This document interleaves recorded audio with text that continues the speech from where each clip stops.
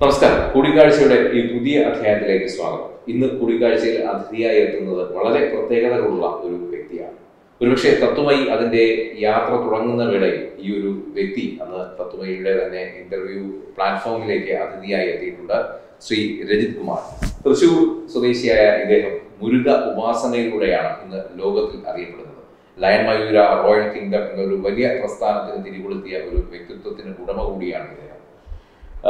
നേരത്തെ സൂചിപ്പിച്ചതുപോലെ തത്വമായി തുടങ്ങുന്ന ആ അവസരത്തിൽ അന്ന് ഇതിന്റെ തുടക്കവേളയിൽ ഈ ലയൺ മയൂര റോയൽ കിങ്ഡം തുടങ്ങുന്നതിനെ കുറിച്ചും അതുപോലെ തന്നെ എങ്ങനെയാണ് മുരുക ഉപാസനയിലേക്ക് രജിത് കുമാർ കടന്നെത്തിയെന്നതൊക്കെ വളരെ വിശദമായി തന്നെ അദ്ദേഹം പറഞ്ഞിരുന്നു.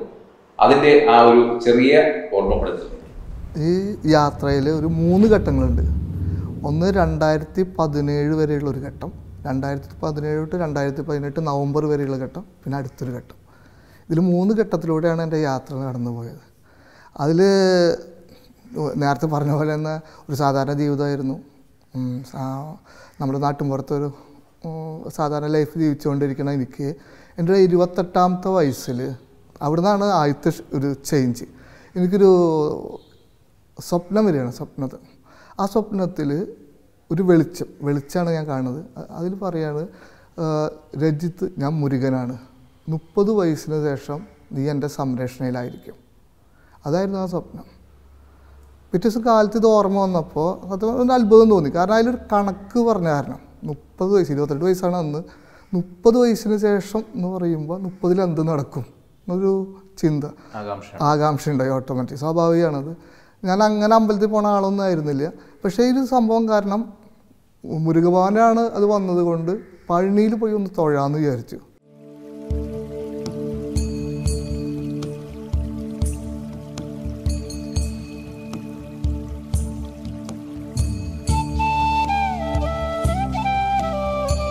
ആ എനർജിയുടെ പ്രത്യേകത എന്താ വെച്ചാൽ അത് റിലേറ്റഡ് ടു മുരുക മുരുകഭവൻ ആ എനർജിക്ക് നമ്മുടെ സ്പിരിച്വാലിറ്റി കൂട്ടാനുള്ള ഒരു ശക്തിയുണ്ട് എനർജി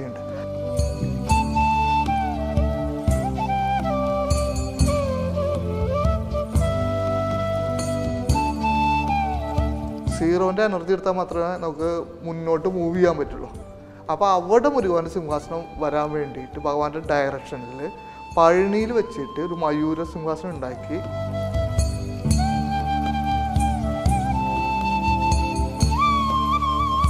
ഒമ്പതാമത്തെ നാൾ എനിക്കൊരു അനുഭവം ഉണ്ടായി. അത് എന്റെ ലൈഫിലുണ്ടായ ഒരു രണ്ടാമത്തെ വലിയൊരു അനുഭവം എന്ന് പറയാം. വലിയൊരു എക്സ്പീരിയൻസ് ആണ് പറയാം.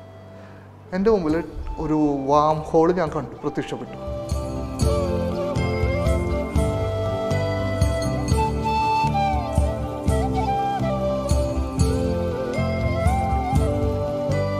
കാഷായം എന്നുള്ളത് ഏറ്റവും ഔന്ന ഒറ്റ ഔന്നത്യത്തിലുള്ളതാണ്. ആ ഒരു പൊസിഷനിൽ എത്തുമ്പോൾ മാത്രം ധരിക്കുക. അങ്ങനെ വിശ്വസിക്കുന്ന ആളാണ് ഞാൻ.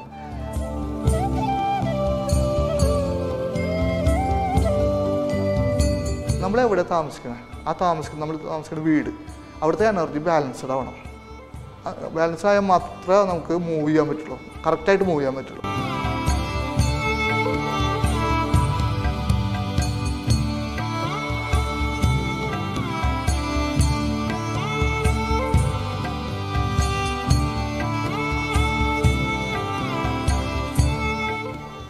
മുരുക ഉപാസനയിലൂടെ കോടിക്കണക്കിന് ഭക്തരുടെ ആത്മീയ ഗുരുവായി മാറിയ മിസ്റ്റിക് ട്രാവലറായി വിശേഷിപ്പിക്കുന്ന ഒരു വ്യക്തിത്വം.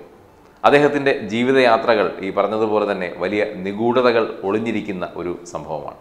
അത് കൂടുതൽ കാര്യങ്ങൾ അദ്ദേഹവുമായി നമ്മൾ സംവദിക്കുമ്പോൾ തന്നെ മനസ്സിലാക്കാൻ കഴിയും. എന്തായാലും നമ്മുടെ അതിന്റെ അദ്ദേഹത്തെക്കുറിച്ച് കൂടുതൽ കാര്യങ്ങൾ നമ്മുടെ ആദ്യ ഒരു അഭിമുഖത്തിൽ തത്വമൈ ടി വിയുടെ നേരത്തെ സൂചിപ്പിച്ചതുപോലെ തത്വമൈ ടി വി രൂപീകൃതമായ ആ വേളയിൽ ഞങ്ങളൊരു ഇന്റർവ്യൂ ഒരുക്കിയിരുന്നു. ആ ഇന്റർവ്യൂവിൽ അദ്ദേഹം അതിനെക്കുറിച്ചൊക്കെ വളരെ വിശദമായി പ്രതിപാദിച്ചു. പക്ഷേ അന്ന് ഒരുപക്ഷെ ആ ഇന്റർവ്യൂ കാണാത്തവർക്കായി വീണ്ടും അതിലെ കൂടുതൽ കാര്യങ്ങൾ നമുക്ക് അദ്ദേഹത്തോട് ചോദിച്ച് മനസ്സിലാക്കാം. ശ്രീ രജിത് ജി വീണ്ടും തത്വമയുടെ പ്ലാറ്റ്ഫോമിലേക്ക് സ്വാഗതം. രണ്ട് വർഷങ്ങൾക്ക് ശേഷമാണ് നമ്മൾ വീണ്ടും കണ്ടുമുട്ടുന്നത്. അന്ന് നമ്മൾ പറഞ്ഞിരുന്നു താങ്കളുടെ പ്രസ്ഥാനത്തെക്കുറിച്ച് ലയൺ മയൂര റോയൽ കിങ്ഡം എന്നൊരു പ്രസ്ഥാനം മുരുക ഉപാസകർക്കായി ലോകമെമ്പാടുമുള്ള എനർജി പോയിന്റുകൾ കണ്ടെത്തുന്നതിനായിട്ടൊക്കെ തുടങ്ങിയ ആ ഒരു വലിയ സംഘടന. ഇന്ന് ആ സംഘടനയും ഈ പറഞ്ഞതുപോലെ രണ്ട് വർഷം കൊണ്ട് പടർ പടർന്ന് പന്തലിച്ചിരിക്കുന്നു. ലോകത്തിന്റെ പല ഭാഗങ്ങളിൽ ഇന്ന് അതിന് ശാഖകളുണ്ട്. അത്രത്തോളം വ്യാപിച്ചിരിക്കുന്നു ആ ഒരു സംഘടന.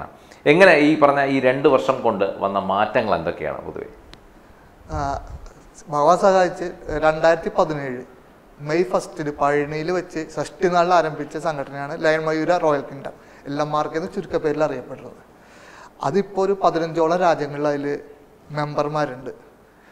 ഞാൻ ഫോളോവേഴ്സ് വാക്ക് ഉപയോഗിക്കാറില്ല. മെമ്പർമാർ തന്നെ. ഒരു കൂട്ടായ്മ. പതിനഞ്ചോളം രാജ്യങ്ങൾ. അംഗങ്ങളാണ് അംഗങ്ങളാണ് അംഗങ്ങളാണ്. ആരും അതിലൊന്നിലൊന്നും മേലെ എല്ലാവരും തുല്യത കൽപ്പിച്ച് മുരുകവാൻ ഒരു ഡ്യൂട്ടി ചെയ്യാൻ വേണ്ടി റെഡിയായി വന്ന് അതിനു വേണ്ടി പ്രവർത്തിക്കുന്ന ആൾക്കാരാണ് ഇവരെല്ലാവരും. അവർ സോൾ കണക്റ്റഡ് ആണ് എല്ലാവരും. അവർ പതിനഞ്ചോളം രാജ്യങ്ങളിലുണ്ട് ആ പ്ലാറ്റ്ഫോമിൽ നിന്ന് രണ്ട് ബൃഹത്തായ വലിയ ഡ്യൂട്ടി നിർവഹിച്ചു കഴിഞ്ഞു ഭഗവാന്റെ അനുഗ്രഹത്താൽ. മൂന്നാമത്തേതിലേക്ക് കടക്കുന്നു. ഏതൊക്കെയാണ് ഈ പ്രധാനമായ രണ്ട് ദൗത്യങ്ങൾ എന്ന് പറഞ്ഞത്? ആദ്യത്തെ ദൗത്യം രണ്ടായിരത്തി പതിനെട്ടിൽ ഇംഗ്ലണ്ടിൽ യു കെയിൽ വെയിൽസിൽ താന്തോന്ത്രി ആഞ്ജനേയർ കോവിൽ അമ്പലത്തിൽ ഒരു മയൂര സിംഹാസനം. ഭഗവാന്റെ ഒരു സിംഹാസന പ്രതിഷ്ഠ നടത്തി. അതെന്തുകൊണ്ട് മയൂര സിംഹാസനം എന്തുകൊണ്ട് ഇംഗ്ലണ്ട് എന്നുള്ള ചോദ്യം വരാം. അതിന് കാരണം രണ്ടായിരത്തി പതിമൂന്ന് മുതൽ ഈ ഭൂമിയിൽ ഒരു എനർജി ഷിഫ്റ്റിംഗ് നടന്നിട്ടുണ്ട്. നമ്മൾ ലാസ്റ്റ് മീറ്റിംഗിൽ ഞാൻ ഇന്റർവ്യൂവിൽ പറഞ്ഞിട്ടുണ്ടായിരുന്നു. എനർജി ഷിഫ്റ്റിംഗ് നടന്നിട്ടുണ്ട്. അത് ആസ്ട്രൽ എർത്തിലാണ് നടന്നിരിക്കുന്നത്. ഫിസിക്കൽ എർത്തിൽ രണ്ടായിരത്തി ഇരുപത് തൊട്ട് മെല്ലെ സ്റ്റാർട്ട് ചെയ്തിട്ടുണ്ട്. അപ്പോൾ മുരു അത് മുരുകയുഗമാണ് ആ എനർജി ഷിഫ്റ്റിംഗ് നടക്കുന്നത് മുരുകയുഗത്തിലേക്ക് ഷിഫ്റ്റിംഗ് ആണ്. കാർത്തിക നക്ഷത്രം എന്ന് നമ്മൾ വിളിക്കുന്ന പ്ലീഡിയസ് സ്റ്റാർ ക്ലസ്റ്റർ എന്ന് ഇംഗ്ലീഷിൽ പറയുന്ന ആ നക്ഷത്ര കൂട്ടത്തിൽ നിന്ന് ഒരുപാട് എനർജി ഭൂമിയിലേക്ക് വന്നു തുടങ്ങുന്ന സമയമാണിത് ആ എനർജിയുടെ പ്രത്യേകത എന്താ വെച്ചാൽ അത് റിലേറ്റഡ് ടു മുരുക ഭഗവാൻ ആ എനർജിക്ക് നമ്മുടെ സ്പിരിച്വാലിറ്റി കൂട്ടാനുള്ള ഒരു ശക്തിയുണ്ട് എനർജി ഉണ്ട്. അപ്പോൾ അതൊരു ആ ഒരു മൂവ്മെന്റ് അത് അടുത്തൊരു രണ്ടായിരം വർഷം നിൽക്കുന്ന മുരുകയുഗത്തിലേക്കുള്ള തുടക്കമാണിത്. അപ്പോൾ മുരുകയുഗം സ്റ്റാർട്ട് ചെയ്യുമ്പോൾ രണ്ട് മൂന്ന് കാര്യങ്ങൾ നടക്കും. ഒന്ന് കുമാരികാന്ഡം എന്ന് അറിയപ്പെടുന്ന ലോസ്റ്റ് കോണ്ടന്റ് ആയ ആ ദ്വീപിനെ കുറിച്ചിട്ടുള്ള ഒരുപാട് കാര്യങ്ങൾ വെളിയിൽ വരും. ശരിക്കും ആ കുമാരികാന്ഡത്തിലാണ് തമിഴ് ആരംഭിക്കുന്നത് ഫസ്റ്റ് സംഘകാലഘട്ടം കുമാരി കാലഘട്ട കുമാരികാന്ഡത്തിലാണ്. അവിടുത്തെ ജനങ്ങളുടെ രാജാവായിരുന്നു മുരുകഭവൻ. അതുകൊണ്ടാണ് തമിഴ് കടവുൾ മുരുകഭവൻ ലോകത്തൊരു ദൈവത്തിനെ കുറിച്ചിട്ട് അങ്ങനെ പറയാറില്ല. ഭാഷയായിട്ട് കണക്ട് ചെയ്യാറില്ല മുരുകഭവനെ മാത്രമാണ് അത് പറയുന്നത് അത് കാരണം അത്രയും പഴയ കണക്ഷനുള്ള കാരണം അപ്പോൾ ആ ഒരു കുമാരികാന്ഡത്തിലെ അറിവുകൾ ഞാൻ ഒരു ഉദാഹരണത്തിൽ പറയാച്ചാൽ നമ്മൾ സയന്റിസ്റ്റുകളൊക്കെ ഇപ്പോൾ റിസർച്ച് ചെയ്ത ആന്റി മാറ്റർ എന്ന് പറഞ്ഞ വിഷയങ്ങളൊക്കെ അറിയുന്ന ഒരു വിഭാഗമായിരുന്നു കുമാരികാന്ഡത്തിലെ ഏഹ്, ജനങ്ങൾ. അത്രയും ഡെവലപ്ഡ് ഒരു കാലഘട്ടത്തിൽ അത് നശിച്ചു പോയി. ആ അറിവുകളൊക്കെ തിരിച്ചു വരുന്ന ഒരു ടൈമാണ് അതേമാതിരി സിദ്ധ സയൻസ് കൂടുതൽ വെളിയിൽ വരുന്ന ഒരു ടൈമാണ് മുരുകുവാന പൂജ ലോകം മുഴുവൻ ആരംഭിക്കാൻ പോണ ടൈമാണ് അങ്ങനെ നിറയെ സ്പിരിച്വൽ ലെവലിൽ ഒരു മൂവ്മെന്റ് സ്റ്റാർട്ട് ചെയ്യണ ഒരു ടൈമാണ് മുരുകയുഗം.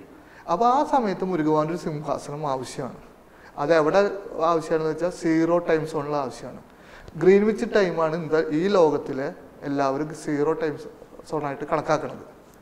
അത് ആ സീറോ ടൈം സോണിൽ മുരുവാന്റെ വിഗ്രഹം വരുമ്പോൾ ആ ഒരു എനർജി വേൾഡ് മുഴുവൻ സ്പ്രെഡ് ആവണം. കാരണം നമ്മൾ സീ ഒരു പുതിയത് സ്റ്റാർട്ട് ചെയ്യുമ്പോൾ സീറോന്ന് സ്റ്റാർട്ട് ചെയ്യാൻ പറ്റുള്ളൂ. അതെ അതെ. സീറോന്റെ എനർജി എടുത്താൽ മാത്രമേ നമുക്ക് മുന്നോട്ട് മൂവ് ചെയ്യാൻ പറ്റുള്ളൂ. അപ്പൊ അവിടെ മുരുകാന്റെ സിംഹാസനം വരാൻ വേണ്ടിയിട്ട് ഭഗവാന്റെ ഡയറക്ഷനിൽ പഴനിയിൽ വെച്ചിട്ട് ഒരു മയൂര സിംഹാസനം ഉണ്ടാക്കി പൂജ ചെയ്ത് രണ്ടായിരത്തി പതിനെട്ട് സൂര്യസംഹാസന്റെ സൂര്യസംഹാരത്തിന്റെ അടുത്ത നാൾ തിരുക്കല്യാണ ആ, യു കെയിൽ വെയിൽസിൽ താന്നോന്ത്രി ആഞ്ജനേയർ കോവിൽ എന്നൊരു അമ്പലമുണ്ട്. അമ്പലത്തിൽ പ്രതിഷ്ഠ ചെയ്തു. അതാണ് ഫസ്റ്റ് ഡ്യൂട്ടി അത് വളരെ നന്നായിട്ട് ഭഗവാൻ സഹായിച്ച് നന്നായി ചെയ്തു. സെക്കൻഡ് ഡ്യൂട്ടി ചെയ്തത് രണ്ടായിരത്തി ഇരുപത്. ഏപ്രിൽ പന്ത്രണ്ടാം തീയതി. ആ ദിവസം ഒരു പ്രത്യേകതയുണ്ട്. ആ ദിവസത്തിൽ നമ്മുടെ മുരുകാന്റെ ഒരു നവപാഷാണ് വിഗ്രഹം പഴനിയിൽ പൂജിച്ച് സ്വിറ്റ്സർലാൻഡിൽ പ്രതിഷ്ഠ ചെയ്തു. സ്വിറ്റ്സർലാൻഡിൽ എന്തുകൊണ്ടെന്ന് വെച്ച് കഴിഞ്ഞാൽ നമ്മുടെ ഈ ലോകം കൺട്രോൾ ചെയ്യണത് മണിയാണ്. പണമാണ് കൺട്രോൾ ചെയ്യുന്നത് ആ പണത്തിന് മണി എനർജി ഇരിക്കുന്ന സ്ഥലം സ്വിറ്റ്സർലാൻഡ്. പല രാജ്യങ്ങളിൽ നിന്ന് ഓട്ടോമാറ്റിക്കായിട്ട് സ്വിറ്റ്സർലൻഡിലേക്ക് പണം ഈ ലോകത്ത് ഒന്നും എല്ലാം നടക്കുന്നത് വെറുതെ അല്ല നമ്മൾ ഇതാ അതാ അങ്ങനെ ഇത് ഇങ്ങനെ എന്നൊക്കെ പറയുന്നത്. നമ്മൾ അതിന്റെ പിന്നിലേക്ക് പോയിട്ട് നമ്മൾ പഠിച്ചു കഴിഞ്ഞാൽ അറിയാം. അതിനൊരു കാരണമായിരിക്കും. ആരെങ്കിലും ഒരു സ്റ്റാർട്ട് ചെയ്തിട്ടുണ്ടാവും അവിടെ. അല്ലെങ്കിൽ വേറൊരു കാരണമായിരിക്കും. ആ കാരണത്തിൽ കൊണ്ടാണ് ആ അങ്ങനെ നടക്കുള്ളൂ. നമ്മൾ ബട്ടർഫ്ലൈ തിയറി എന്നൊക്കെ പറയുന്നത് ഒരു വേറൊരു രൂപം അത്. Behind every cause there is a reason for reason it. അതാണ് ഇപ്പൊ ബട്ടർഫ്ലൈ തിയറി പറയാല്ലേ? നൂറ്റാണ്ടിലും ഒരു ബട്ടർഫ്ലൈ ചിറക ആഫ്രിക്കയിൽ ചിറകളിച്ച് പിന്നെ കൊടുങ്കാറ്റായിട്ട് ഏഷ്യയിൽ വരുന്നു. പറയണ പോലത്തെ ഒരു തിയറിയുടെ വേറെ സൈഡ് അത്. എന്തും നടക്കുന്ന ഒരു കാരണം ഉണ്ടെങ്കിൽ ലോകത്ത് അതേപോലെ ആ സ്വിറ്റ്സർലൻഡിലേക്ക് അവിടെ ചെല്ലണതിന് ആ മണി അവിടെ ആകർഷിക്കണതിന് ഒരു കാരണമുണ്ട്. ഒരു എനർജി ഉണ്ട് അവിടെ. ആ എനർജിയിൽ മുരുകന്റെ എനർജി വന്നിരുന്നു കഴിഞ്ഞാൽ നമ്മുടെ ഫ്യൂച്ചർ വേൾഡിൽ നമ്മൾ ഇപ്പോൾ ഉപയോഗിക്കണ കറൻസി ഒന്നല്ല ഉപയോഗിക്കുക. ടോട്ടൽ ചേഞ്ച് ആവാൻ പോകുന്നത് ഒരു അതായത് പുതിയ സിസ്റ്റം വരും. നമ്മൾ ചില കറൻസിയുടെയൊക്കെ വാല്യൂ കുറയും ചിലത് കൂടും. ഒരു പുതിയ സിസ്റ്റം വരും. ആ സിസ്റ്റം ഒക്കെ വരുമ്പോൾ ആ സിസ്റ്റത്തിൽ മുരുകവന്റെ എനർജി ഉണ്ടാവും. അപ്പോൾ അതിന് കൺട്രോൾ മുരുകവാന്റെ കൺട്രോളായിരിക്കും മുരുകയുഗത്തിൽ അതിന് വേണ്ടിയിട്ടാണ് ഒരു മുരുകവാന്റെ വിഗ്രഹം പഴനിയിൽ പൂജിച്ച് സ്വിറ്റ്സർലൻഡിൽ കൊണ്ട് പ്രതിഷ്ഠിച്ചത്. ഈ പ്രതിഷ്ഠിക്കണ ടൈമിൽ ഭഗവാന്റെ അനുഗ്രഹം കൊണ്ട് മാത്രം നടന്ന കാര്യം അത്. അത് വളരെ ഇൻട്രസ്റ്റിംഗ് ആയ ഒരു വിഷയം കൂടി ചൊല്ലണം പറയണം. അതിന് കാരണം എന്താ വെച്ച് കഴിഞ്ഞാൽ നമ്മൾ ഈ രണ്ടായിരത്തി ഇരുപത് ഫെബ്രുവരിയിൽ ശിവരാത്രി ദിവസമാണ് പഴനിയിൽ പൂജ ചെയ്യണത്. അത് പഴനിയിൽ മാത്രമല്ല പഴനിയുടെ അടുത്ത് രണ്ട് മലയുണ്ട്. ഒന്ന് ആഞ്ജനേയർ മല. അവിടുത്തെ ലോക്കൽ ആൾക്കാർ പറയണത് രംഗനാഥർ കരട് എന്ന് പറയും? ഒരു ആഞ്ജനേയർ ഹനുമാൻ എങ്ങനെ കടക്കണു ആ രൂപത്തിലാണ് മല. എല്ലാവരും ഒന്ന് നോക്കിയാലോ അങ്ങനെ കാണുള്ളൂ അത്രയും പവർഫുൾ ഒരു മലയത് പിന്നെ ഒരു മലയുണ്ട് അയ്യവർ മല എന്ന് പറഞ്ഞിട്ട്. ആ മല പവർഫുൾ ആയതാ. ആ രണ്ട് എനർജി പോയിന്റ് അത് ശരിക്കും. ആ രണ്ട് സ്ഥലത്ത് പൂജിച്ച് പഴനിയിൽ പൂജിച്ചിട്ടാണ് ഈ വിഗ്രഹം അയക്കുന്നത്. അത് നടന്നത് ഫെബ്രുവരിയിലാണ്. രണ്ടായിരത്തി ഫെബ്രുവരി ശിവരാത്രി ദിവസം.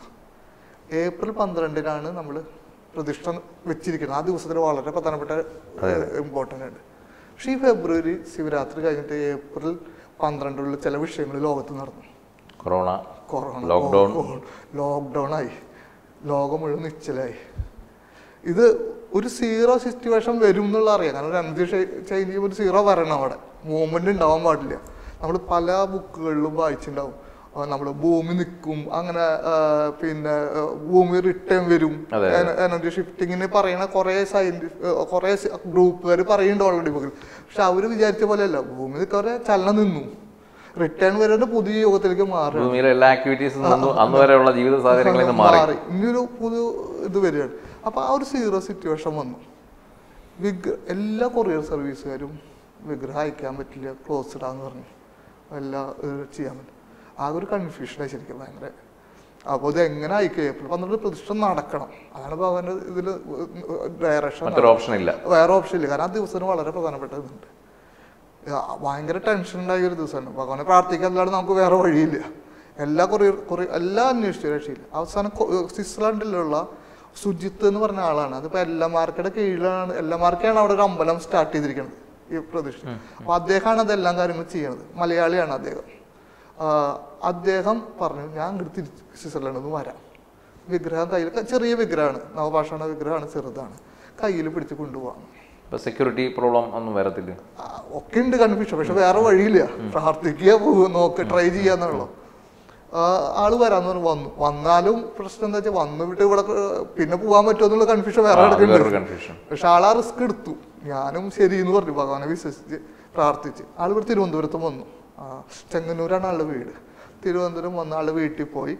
ചെന്നൈയിലാണ് ഈ വിഗ്രഹം ഇരിക്കണത് തിരുവനന്തപുരത്ത് തിരുവനന്തപുരത്ത് ആൾ ചെന്നൈ ഫ്ലൈറ്റ് എടുത്തു. ആ ഫ്ലൈറ്റ് കഴിഞ്ഞ ശേഷം തിരുവനന്തപുരം എയർപോർട്ട് ക്ലോസ്ഡാ ലാസ്റ്റ് ഫ്ലൈറ്റ് ആയിരുന്നു. ഫ്ലൈറ്റ്. ആൾ എന്നെ എയർപോർട്ടിൽ നിന്ന് വിളിച്ചു. ഇങ്ങനെ സംഭവം എന്ന് പറഞ്ഞു. ചെ- ചെന്നൈയിൽ അങ്ങനെ കുഴപ്പമുണ്ടാവില്ല വിചാരിക്കാൻ പറഞ്ഞു. ശരി എന്ന് പറഞ്ഞ ആൾ ചെന്നൈയിലെത്തി. ചെന്നൈയിൽ നിന്ന് ഒരു ഹോട്ടലിൽ റൂം എടുത്തിട്ടുണ്ട് ആൾ. ആൾ വെളിയിലേക്ക് ഇറങ്ങി ഹോട്ടലിലേക്ക് പോവാണ്. പിറ്റേ ദിവസം പുലർച്ചെ രണ്ട് മണിക്കാണ് സ്വിറ്റ്സർലൻഡ് ഫ്ലൈറ്റ് ബഹ്റിൻ വഴിയാണ് പോണത്. അപ്പോൾ ചെന്നൈയിൽ ഒരാൾ അദ്ദേഹത്തിന് കൊണ്ട് കൊടുക്കും. വിഗ്രഹം കൊണ്ട് കൊടുക്കും. ആൾ കളക്ട് ചെയ്ത് പോവാന്ന് ആൾ വെളിയിൽ നിന്ന് ഒരു ക്യാബിൽ കയറി ഹോട്ടലിൽ പോയി. ഡ്രൈവർ ആളോട് ചോദിച്ചു എപ്പോഴാണ് ഫ്ലൈറ്റ് ചോദിച്ചു. നാളെ പുലർച്ചെ രണ്ട് മണിക്ക് ഇന്ന് രാത്രി പന്ത്രണ്ട് മണിക്ക് എയർപോർട്ട് ക്ലോസ്ഡ് ആവും എന്നുള്ളൊരു ഒരു വർത്തമാനം ഉണ്ട് വീണ്ടും എന്നെ വിളിച്ചു ഇങ്ങനെ വർത്തമാനം ഉണ്ടല്ലോ പ്രാർത്ഥിക്കാൻ കുഴപ്പമുണ്ടാവില്ല ആളെ റൂമിൽ പോയി. ആ ശ്രീനിവാസൻ എന്ന് പറഞ്ഞ നമ്മുടെ ഐ ടിയുടെ ഹെഡ് അദ്ദേഹം അദ്ദേഹത്തിന്റെ കയ്യിൽ കൊണ്ട് വിഗ്രഹം കൊടുത്തു. വിഗ്രഹം അദ്ദേഹം സ്വീകരിച്ചു. അദ്ദേഹം പുലർച്ചെ രണ്ട് മണിക്ക് എയർപോർട്ടിലെത്തി എയർപോർട്ട് ക്ലോസ്ഡ് അല്ല. അന്ന് രാത്രി പന്ത്രണ്ട് മണിക്ക് ക്ലോസ്ഡ് ക്ലോസ് ആയിരുന്നു ക്ലോസ് പറഞ്ഞു സമാധാനമായി പക്ഷെ അടുത്തൊരു വിഷയം വിഗ്രഹം കൊണ്ടുപോണ എന്തെങ്കിലും ആ എന്തെങ്കിലും ഒരു എന്തെങ്കിലും വന്നു കഴിഞ്ഞാൽ എന്താ ആൾക്ക് ഇങ്ങോട്ട് വരാൻ പറ്റില്ല.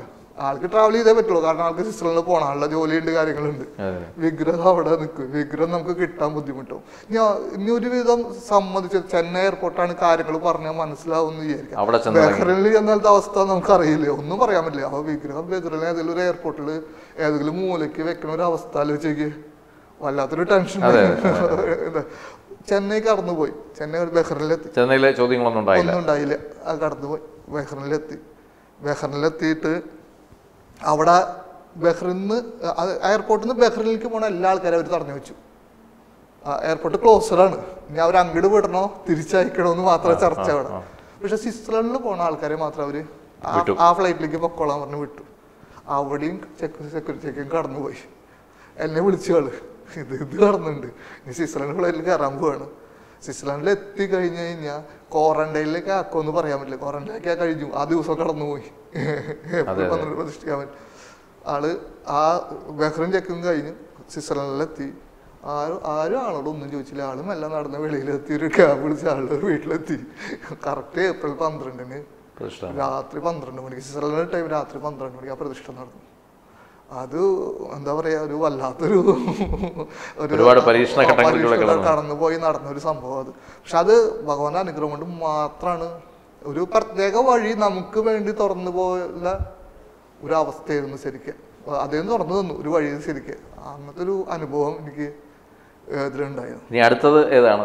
അടുത്ത് അത് കഴിഞ്ഞിട്ടുള്ള ഒരു പ്രധാന ഒരു കാര്യം കൂടി പറയണം. അത് കഴിഞ്ഞിട്ട് ഞാൻ ഒരു ശരിക്കും പറഞ്ഞു വല്ല ഞാൻ പറഞ്ഞില്ല വല്ലാത്തൊരു ടെൻഷൻ സിറ്റുവേഷൻ ഉണ്ടായിരുന്നു ശരിക്കും എനിക്കത് അത് ഞാൻ ഭഗവാന്റെ ഡയറക്ഷൻ വന്നു ഒരു ഒമ്പത് ദിവസം മെഡിറ്റേ ഡീപ്പ് മെഡിറ്റേഷനിലേക്ക് പോകാൻ പറഞ്ഞു. ഒമ്പത് ദിവസം ഞാൻ ഫോണൊന്നും അറ്റൻഡ് ചെയ്യാണ്ട് ഡീപ്പ് മെഡിറ്റേഷൻ പോയി. വീട്ടിൽ തന്നെ? ആ വീട്ടിൽ തന്നെ. ഫുള്ള് ഫുള്ള് ആ സമയത്ത് ഈ ഇതുവാണല്ലോ. ലോക്ക്ഡൗൺ ആണ്. ഞാൻ ലീവ് എടുത്തിരിക്കുകയാണ്. ലീവ് എടുത്തു കുറച്ച് ദിവസം. അപ്പോൾ ഒമ്പത് ദിവസം ഡീപ്പ് മെഡിറ്റേഷൻ പോയി. ഒമ്പതാമത്തെ നാൾ എനിക്കൊരു അനുഭവം ഉണ്ടായി. അത് എന്റെ ലൈഫിലുണ്ടായ ഒരു രണ്ടാമത്തെ വലിയൊരു അനുഭവം എന്ന് പറയാം. വലിയൊരു എക്സ്പീരിയൻസ് ആണ്. പറയാം എന്റെ മുമ്പിൽ ഒരു വാം ഹോൾ ഞാൻ കണ്ടു പ്രത്യക്ഷപ്പെട്ടു.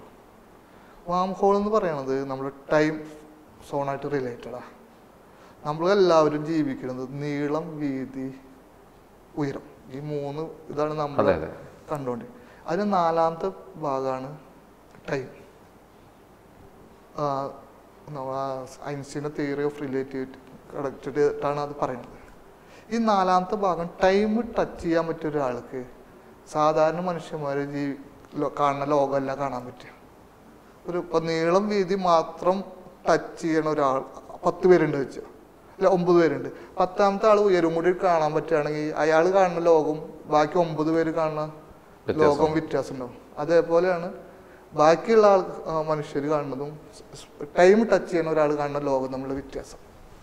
ആ അത് അത് റിലേറ്റഡ് ഈ വാം ഹോളായിട്ട് റിലേറ്റഡ് വാം ഹോൾ എന്ന് പറഞ്ഞാൽ ഒരു ടൈം സോണിൽ നിന്ന് വേറെ ടൈം സോണിൽ യാത്ര ചെയ്യാനുള്ള ഒരു വേ ആണ്. അത് സയന്റിസ്റ്റുകാരെല്ലാവരും പറയുന്നുണ്ട് ഇന്ത ഈ ലോകത്ത് വാം ഹോൾ എക്സിസ്റ്റാന്ന് പറയുന്നുണ്ട് പക്ഷെ പ്രൂവ്ഡ് അല്ല. സയന്റിഫിക് ആയിട്ട് പ്രൂവ്ഡ് അല്ല. പ്രൂവ്ഡ് അല്ല. പക്ഷെ അവർ സമ്മതിക്കുന്നുണ്ട് ഇങ്ങനെ ഉണ്ടാവാൻ സാധ്യതയുണ്ട്.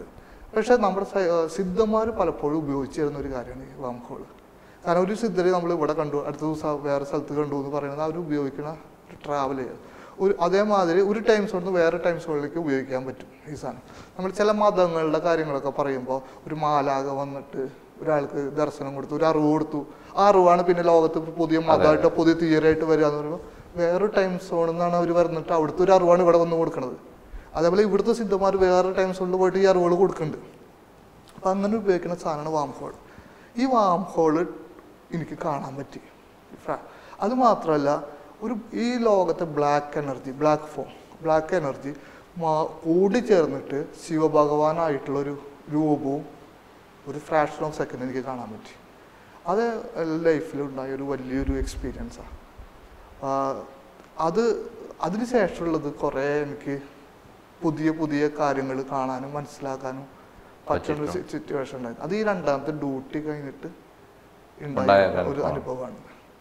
അനുഭവമാണ് ഇത് എന്റെ ജീവിതത്തിൽ രണ്ടാമത്തെ വലിയൊരു അനുഭവം. ഫസ്റ്റ് ഒരു അനുഭവം ഞാൻ പറയാം എക്സ്പീരിയൻസ് ഇതേപോലെ ഞാൻ ഒരു അത് കുറേ വർഷം മുമ്പാണ് ആറ് വർഷമൊക്കെ ആയിട്ടുണ്ടാവും. ഞാൻ വീ ഫോൺ അറ്റ കാലത്ത് ഒരു ഒമ്പതര ഫോണൊക്കെ അറ്റൻഡ് ചെയ്തിട്ട് വെളിയിൽ വന്നു. ഫോൺ വന്നു ഫോൺ എടുത്തു വെളിയിൽ വന്നു ഗേറ്റിന്റെ അവിടെ നിന്ന് സംസാരിച്ചു. ഫോൺ കട്ട് ചെയ്തു തിരിയാൻ നിൽക്കുന്ന നേരത്ത് എന്റെ ബോഡി ഫ്രീസായി എനിക്ക് തിരിയാൻ പറ്റുന്നില്ല. സറൗണ്ടിങ് അയറൊക്കെ ഭയങ്കര ഹോട്ടായി തുടങ്ങി. ആരാ എന്റെ ഉള്ളിൽ പറയുന്നുണ്ട് മുരുകോ രാജരൂപത്തിൽ വരുന്നുണ്ട് രാജരൂപത്തിൽ വരുന്നുണ്ട്. ആരും ഒരാൾ എന്നെ ഇവിടെ കിക്ക് ചെയ്തു. പഞ്ച് ചെയ്തു എന്റെ പെട്ടെന്ന് ഫേസ് അപ്പായി ഹൈറ്റിൽ ഒരു ക്ലൗഡ് ഞാൻ കാണുകയാണ് ആ ക്ലൗഡിന്റെ ഉള്ളിൽ നിന്ന് ഒരു ഇത്ര ഇത്ര ഉണ്ടാവും. ഒരു ജ്യോതി ഒരു എനർജി ഒരു വെളിച്ചം വെളിയിൽ വരും അത്രയും ഹൈറ്റാണ് പക്ഷേ നമുക്ക് ചൂട് താങ്ങാൻ പറ്റുന്നില്ല. സറൗണ്ട് അയറൊക്കെ ആയോ അത്രയും ഹോട്ടാണ് ഞാൻ ഒരു പ്ര- പ്രാർത്ഥിച്ച് ഒരു അഞ്ച് മിനിറ്റ് തൊഴുത് നിന്നു. അത് കഴിഞ്ഞിട്ട് ആ ക്ലൗഡിന്റെ ഉള്ളിലേക്ക് ആ എനർജി പോയി. ക്ലൗഡ് അങ്ങനെ മാഞ്ഞു പോയി. ഒരു രണ്ട് മിനിറ്റ് കഴിഞ്ഞപ്പോൾ ബോഡി എനിക്ക് മൂവ് ചെയ്യാൻ പറ്റി. പക്ഷേ ഈ അഞ്ച് മിനിറ്റിലും എന്റെ ഞാൻ ഗേറ്റിലാണ് നിൽക്കണം ഗേറ്റിന്റെ അടുത്ത. ഗേറ്റിന് മുമ്പിൽ റോഡുണ്ട് ആ റോഡ് കൂടെ ആരും വന്നില്ല. അടുത്ത വീടുകളുണ്ട്. അവിടെ നിന്ന് ആരും വന്നില്ല. എന്റെ വീട്ടിൽ അമ്മ ഉള്ളിലുണ്ടായിരുന്നു. അമ്മ വെളിയിൽ വന്നില്ല. നാച്ചുറൽ ഫ്രീസായി എന്ന് പറയുന്ന ഒരു അവസ്ഥയായിരുന്നു. ഞാൻ അകത്ത് പോയി ഒരു ബെഡ്റൂമിൽ അവിടെ ജനാലയിൽ ഇങ്ങനെ പിടിച്ച് ഒരു അരമ കണ്ണെന്ന് ഇങ്ങനെ വെള്ളം വരിക. ബോട്ടിയൊക്കെ ആകെ ഷിവർ ചെയ്യായിരുന്നു. അരമണിക്കൂർ കഴിഞ്ഞിട്ട് ബാക്ക് ടു നോർമലായത് അതെന്റെ ഒരു വലിയൊരു എക്സ്പീരിയൻസ് അത് കഴിഞ്ഞൊരു വലിയൊരു എക്സ്പീരിയൻസ് ആണ് ഈ രണ്ടാമത്തെ എക്സ്പീരിയൻസ് നിറയെ എക്സ്പീരിയൻസ് അല്ല രണ്ട് പ്രധാന എക്സ്പീരിയൻസ് ഞാൻ പറഞ്ഞതാണ് അത് സെക്കൻഡ് ഡ്യൂട്ടി കഴിഞ്ഞപ്പോൾ ഉണ്ടായതാണ് അത് അത് കഴിഞ്ഞിട്ട് ആ, movement movement L M R കെയിൽ കൂടുതൽ ആൾക്കാർ വന്നു. നമ്മുടെ പ്രാർത്ഥനയിലും ഈ ഓരോ ഡ്യൂട്ടിയും അതാത് സമയത്ത് തോന്നിക്കുന്നതാണോ? അതോ തീർച്ചയായും. ഇത്രയും അസൈൻഡ് ആണോ കുറെ ഡ്യൂട്ടികൾ ഒരുമിച്ച്? ഇല്ല ഇല്ല നമുക്കറിയില്ല. ഡ്യൂട്ടി മൂന്നാമത്തെ ഡ്യൂട്ടിക്ക് കുറിച്ചുള്ള ഒരു ഇത് കിട്ടുന്നത് എപ്പോഴാണ്? അത് ഈ അടുത്ത്. വളരെ അടുത്ത്. അതായത് ഒരു ഡ്യൂട്ടി കഴിഞ്ഞാൽ നമുക്ക് ഇനി അടുത്ത ഡ്യൂട്ടി എപ്പോഴാണ് എന്താണെന്ന് പോലും അറിയില്ല. മൂന്നാമത്തെ ഡ്യൂട്ടിയിലേക്ക് എന്താണ്? മൂന്നാമത്തെ ഡ്യൂട്ടി എന്ന് പറയുന്നത് അത് വളരെ പ്രധാനപ്പെട്ടതാണ് ഭാരതത്തിന് വളരെ പ്രധാനപ്പെട്ടതാണ് അതിനു മുമ്പ് ഒന്ന് രണ്ട് കാര്യങ്ങൾ പറയാനുണ്ട് എനിക്ക് അത് പറഞ്ഞിട്ട് ആ ഡ്യൂട്ടിയിലേക്ക് വന്നാൽ അത് എൻ- എന്റെ ജീവിതത്തിലെ ഏറ്റവും പ്രധാനപ്പെട്ട ആൾ എന്റെ അമ്മയാണ് നമ്മുടെ അനുഗ്രഹം നമ്മുടെ സ്നേഹം എനിക്ക് ജീവിതത്തിൽ വളരെ പ്രധാനപ്പെട്ട. അമ്മ എന്റെ അമ്മ ഈ ആഗസ്റ്റ് മുപ്പത്തൊന്നിന് മുക്തിയായി.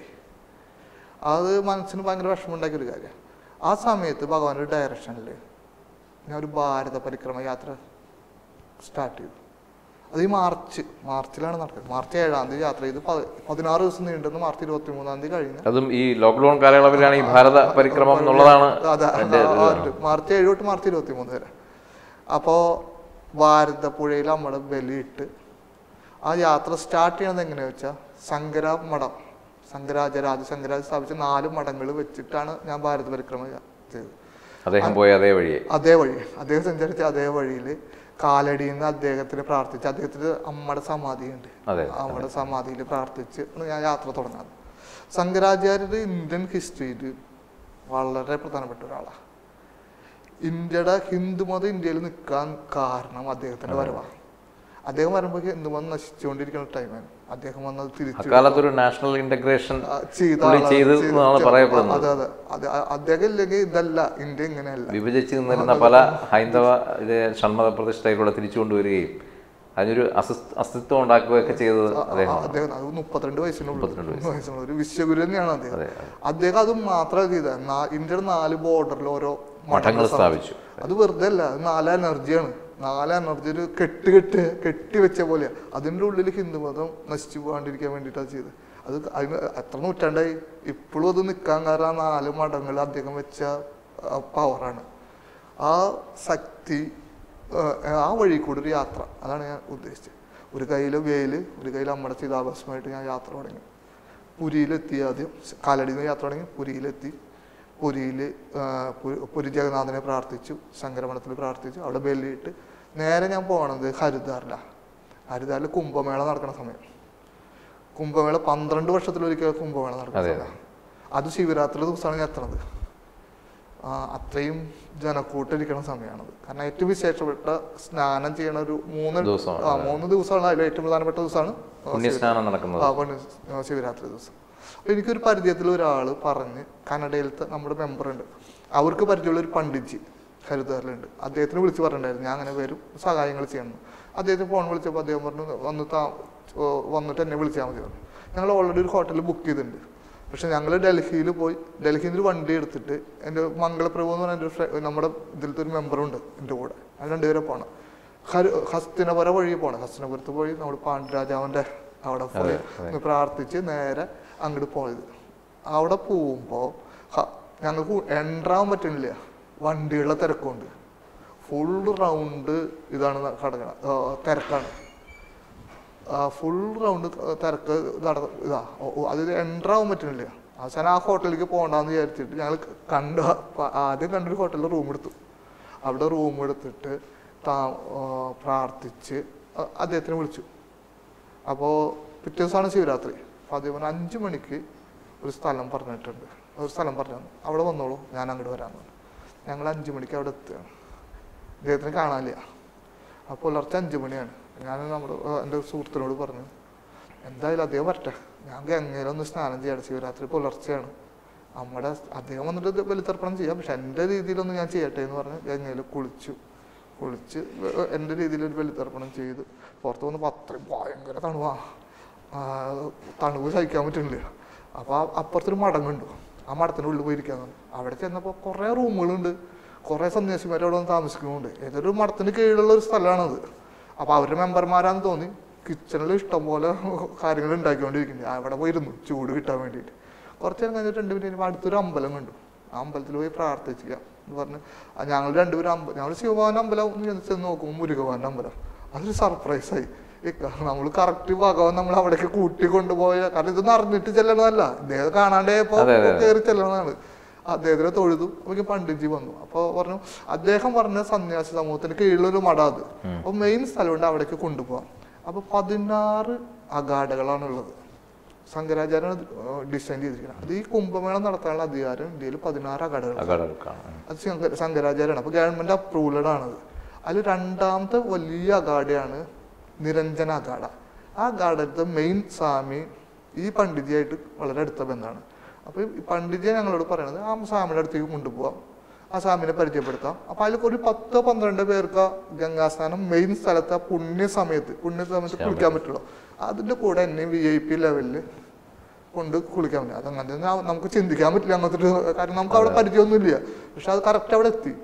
ആ സ്വാമിയുടെ അവിടേക്ക് കൊണ്ടുപോയി. നോക്കുമ്പോൾ ഒരു പത്തിരുപത് രഥങ്ങൾ ഒരുക്കി വെച്ചിട്ടുണ്ട്. ഒരു ഘോഷയാത്രയായിട്ടാണ് പോണം ഓരോ ഗാഡകളും. ഈ സ്വാമിയുടെ കീഴിൽ ഒരു പത്തിരുപത് രഥങ്ങൾ ഒരുക്കി വെച്ചിട്ടുണ്ട്. എല്ലാ രഥങ്ങളിലും മുരുകോന്റെ പടം. ഓം കാർത്തികേയ നമ. ആ ഭയങ്കര അത്ഭുതമായി. ഞാൻ പണ്ട് ചോദിച്ചത് എന്താ ഇങ്ങനെ? ചോദിച്ചു. ഈ അഗാഡയുടെ ദൈവം കാർത്തികേയ സ്വാമിയാണ്. ഞാൻ ഭഗവാന്റെ അനുഗ്രഹത്തിനെ കുറിച്ചിട്ട് ഞാൻ ഒന്ന് നിമിഷം ആലോചിച്ചു. ഒരു പരിധിയില്ലാത്ത തന്നെ പതിനാറ് അഗാഡകളിൽ അത് അവിടേക്ക് എത്തിക്കുക. അതിൽ മെയിൻ ആളുടെ കൂടെ പോയി എനിക്ക് സ്നാനം ചെയ്യാൻ പറ്റുക. അദ്ദേഹത്തിന് അനുഗ്രഹത്തിൽ ഞാൻ വണങ്ങി ഗംഗാ സ്നാനം ചെയ്ത് അമ്മയ്ക്ക് ബലിതർപ്പണം ചെയ്ത് ഞാൻ ജോഷിമഠ് പോയി. ഹിമാലയം ജോഷിമഠ്. അപ്പോൾ ബദ്രിനാഥിന്റെ അടുത്താണ് ജോഷിമഠ്. ശരിക്കും ജോഷിമഠ് എന്നല്ല അതിന്റെ പേര്. ജ്യോതിർമഠം. ജ്യോതിർമഠാണ്. ശങ്കരാചാര്യർക്ക് ജോ തപസ് ചെയ്തപ്പോൾ ജ്യോതിരൂപത്തിൽ കിട്ടി അദ്ദേഹം എടുത്തു. പിന്നെ പറഞ്ഞിട്ടാണ് ജോഷിമഠ. അവിടെ പോയപ്പോൾ അവിടെ ഒരു നരസിംഹഭവൻ അമ്പലമുണ്ട്. ആ അമ്പലത്തിന്റെ ഒരു പ്രത്യേകത പറഞ്ഞാൽ ആ നരസിംഹഭവന്റെ കൈ സൂക്ഷിച്ച് വരികയാണ്. ആ കൈ സൂക്ഷിച്ച് കൈ മുറിഞ്ഞ് വീഴുമ്പോൾ ഇപ്പോഴുള്ള ബദ്രീനാഥും കേദാർനാഥും ക്ലോസ് ചെയ്യണം. ഇത് ഭൗഷ്യ കേദറാന്ന് ഭൗഷ്യ ബദ്രനാഥ് ശങ്കരാചാര്യ വെച്ചിട്ടുണ്ട്. അത് ആരംഭിക്കണം. അതാണ് അതിന്റെ ഇത്. സൂക്ഷിച്ച് വരുന്നതുകൊണ്ട്. അവിടെ പോയി തൊഴുതു. തൊഴുത് പുറത്ത് കടന്നപ്പോൾ ഒരു ബോർഡ് എഴുതി വെച്ചിട്ടുണ്ട്. അതിന്റെ ചരിത്രം ആ സ്ഥലങ്ങളുടെ അതിലൊരു വാചകമുണ്ട്. ഈ സ്ഥലത്തിന്റെ പഴയ പേര് കാർത്തികേയപുരം എന്നായിരുന്നു. അഗൈൻ മുരുകുവാന്റെ ആ ഒരു ബ്ലെസ്സിങ് കിട്ടി. അവിടെ നിന്ന് ജോഷി പോയിട്ട് പ്രാർത്ഥിച്ചു ശങ്കരാചാര്യ പ്രാർത്ഥിച്ചു. അത് കഴിഞ്ഞിട്ടാണ് എന്റെ അടുത്തൊരു അനുഭവം ഉണ്ടാകുന്നത് അവിടെ ഒരു മരമുണ്ട്. രണ്ടായിരം വർഷം പഴക്കമുള്ള മരം. അതിന്റെ താഴത്തൊരു ഗുഹയുണ്ട്. ആ ഗുഹയിൽ ശങ്കരാചാര്യ തപസ് സ്ഥലമാണ്. അവിടെ പോയി പ്രാർത്ഥിച്ചു. അവിടെ ശിവലിംഗം കൊണ്ട് അഭിഷേകം ചെയ്തു. ഈ മരത്തിന്റെ അവിടെ പോയി പണ്ഡിജി എന്നോട് പറഞ്ഞു ആ ഒരു ഇവിടെ വരുന്നൊരു കസ്റ്റമുണ്ട്. ഒരു ചരട് ക- മേടിച്ച് പ്രാർത്ഥിച്ച് അതിൽ കെട്ടിയാൽ നമ്മൾ മനസ്സിൽ വിചാരിച്ചത് നടക്കും.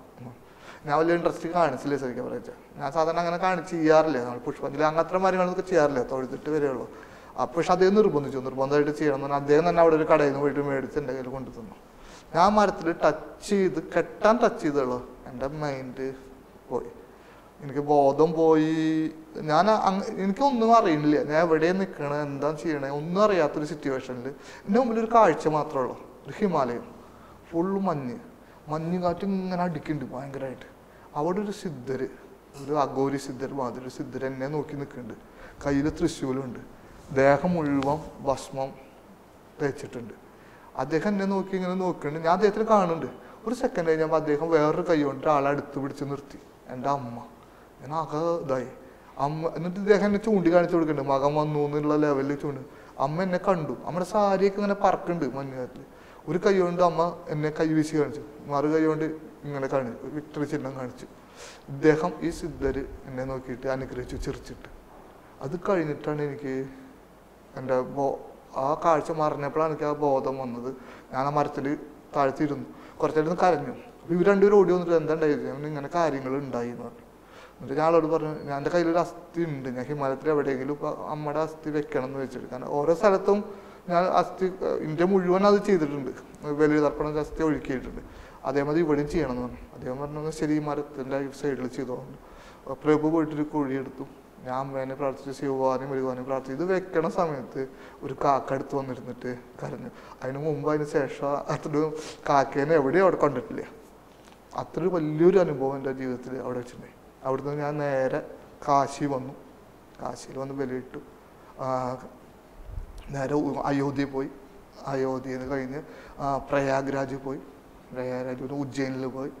ഉജ്ജയിൻ വളരെ പ്രധാനപ്പെട്ട ഒരു സ്ഥലം സ്ഥലമാണ്. ഉജ്ജയിനിൽ കഴിഞ്ഞ് നേരെ ദ്വാരകയിൽ പോയി. ദ്വാരക നേരെ പഴനിയിൽ വന്ന് ഷൺമുഖ നദിയിൽ ബലിയിട്ട് യാത്ര അവസാനിപ്പിച്ച് പഴനിയാണ്ടിനെ തൊഴുത് തിരിച്ചു ഒരു ഭാരത പതിനാറ് ദിവസം അതും ഈ ലോക്ക്ഡൗൺ ഈ കൊറോണയുടെ കാലത്താണ് ഇങ്ങനെ ഒരു യാത്ര ചെയ്യാൻ പറ്റിയെന്നുള്ളത് അത് ശരിക്കും പറയുക ഈ യാത്ര തുടങ്ങണ സമയത്ത് അങ്ങനത്തെ ഒരു ടെൻഷൻ ഉണ്ടായിരുന്നു. ടെൻഷൻ എന്ന് പറഞ്ഞാൽ എന്നെ അറിയണ പലരും പറഞ്ഞു യാത്ര ബുദ്ധിമുട്ടാവും പൂർത്തീകരിക്കാൻ ബുദ്ധിമുട്ടാവും. കാരണം പല സ്റ്റേറ്റുകളും നിയന്ത്രണങ്ങൾ കടുപ്പിച്ചു തുടങ്ങി. അന്ന് ഞാൻ എനിക്ക് വാക്സിൻ കിട്ടിയിട്ടില്ല. അതിനുശേഷം ഇപ്പം രണ്ട് വാക്സിൻ എടുത്തു ഞാൻ. പക്ഷെ അന്ന് കിട്ടിയിട്ടില്ല. അപ്പോൾ ചിലപ്പോൾ എയർപോർട്ടിൽ വെച്ചിട്ട് ബുദ്ധിമുട്ടുണ്ടാവാം. യാത്ര പ്രശ്നം ചിലപ്പോൾ ലോക്ക്ഡൗൺ അതിന്റെ ഇടയിൽ വരാം. അപ്പോൾ പ്രശ്നമാവും അങ്ങനെ ഒരുപാട് എല്ലാവരും എന്നെ സ്നേഹിക്കുന്ന ആൾക്കാരൊക്കെ ആ ഒരു ഉപദേശം നൽകിയിരുന്നു. പക്ഷെ എന്റെ കൂടെ വന്ന പ്രഭു അതൊന്നും കുഴപ്പമുണ്ടാവില്ല. ഭഗവാൻ നോക്കിയോളൂ നോക്കിയോളും എന്നുള്ള ഒരു ഒരു സൈഡും പറഞ്ഞു ഞാൻ അവസാനം ഭഗവാനെ പ്രാർത്ഥിച്ചിട്ട് യാത്ര തുടങ്ങി. പ്രശ്നം ചെറിയ അതിൽ വിഷയം എന്താ വെച്ചാൽ ആർക്കെങ്കിലും ചെറിയൊരു ടെമ്പറേച്ചർ വ്യത്യാസം ഞങ്ങൾ രണ്ടുപേർക്ക് ആർക്കെങ്കിലും ഒരാൾക്ക് ഒരു എയർപോർട്ടിൽ ടെസ്റ്റ് ചെയ്യുമ്പോൾ വന്നു കഴിഞ്ഞാൽ പെട്ടു. വെട്ടു അവർ നേരെ പിടിച്ച് ക്വാറന്റൈൻ കൊണ്ടിരുത്തും. യാത്രയും മുടങ്ങും. പതിനാല് ദിവസം നമ്മൾ ഏതൊരു സ്റ്റേറ്റിൽ എവിടെയെങ്കിലും ഇരിക്കേണ്ടി വരും ഇരിക്കേണ്ടി വരും. അത് അങ്ങനത്തെ ഒരു ഭയങ്കര റിസ്ക് ഉണ്ടായിരുന്നു. പക്ഷെ ഒന്നും ഉണ്ടായില്ല. ആ ഒരു ഒരു എന്താ പറയുക നേരത്തെ പറഞ്ഞ പോലെ ഒരു വഴി ഭഗവാൻ അവിടെയും ഒരുക്കിയിട്ടുണ്ടായിരുന്നു. ഇപ്പം തിരിച്ച് പളനിയിൽ വന്നാണ് ഇത് അവസാനിപ്പിച്ചതെന്ന് പറഞ്ഞു. അങ്ങ് എന്ത് പറഞ്ഞാലും ഈ പളനിയുമായിട്ട് കണക്റ്റഡ് ആണ്. ഇപ്പം നമ്മുടെ ആദ്യത്തെ ഇന്റർവ്യൂവിൽ എന്റെ ഉദാഹ ഉത്തരവും അതേ താങ്കൾ നൽകി കഴിഞ്ഞിരുന്നു. പക്ഷേ അന്ന് ഒരു പക്ഷേ ഇന്റർവ്യൂ കേൾക്കാത്തവർക്ക് വേണ്ടി ചോദിക്കുകയാണ് ഈ ബോഗർ മഹർഷിയും പളനിയും മുരുകനും താങ്കളും തമ്മിലുള്ള ഒരു ബന്ധം അതെന്താണ്? എന്റെ ജീവിതത്തിലെ എല്ലാ ഡയറക്ഷനും എനിക്ക് തരുന്നത് ഭഗവാനാണ്. പഴനി പഴനി ആണ്ടവനാണ് അവിടുന്നാണ് എന്റെ യാത്ര തുടങ്ങുന്നതെന്ന്. രണ്ടായിരത്തി അഞ്ചിൽ ശരിക്കും രണ്ടായിരത്തി നാല് തൊട്ട് ആരംഭിച്ചിട്ടുണ്ടായിരുന്നു എന്നോട്. പന്ത്രണ്ട് വർഷം ഞാൻ ആരോടും പറയാണ്ട് രഹസ്യമായിട്ടാണ് യാത്ര ചെയ്തത്. പതിനാറ് തൊട്ടാണ് അതായത് ഒരു വാഴവട്ടക്കാലം കഴിഞ്ഞ കഴിഞ്ഞതിന് ശേഷമാണ് ഭഗവാൻ അനുവദിച്ചത് പുറത്ത് പറയാൻ വേണ്ടിയിട്ട്. അത് ഒരു ട്രൈ നമ്മളൊരു യാത്ര ട്രെയിനിങ് പീരീഡാണ് ആണ്. ഒരു അഞ്ചു കൊല്ലം ആറ് കൊല്ലം ഉണ്ടെങ്കിൽ ഒരു എം ബി ബി എസ് കിട്ടും. പ്രൊബേഷൻ പോലെ അതെ.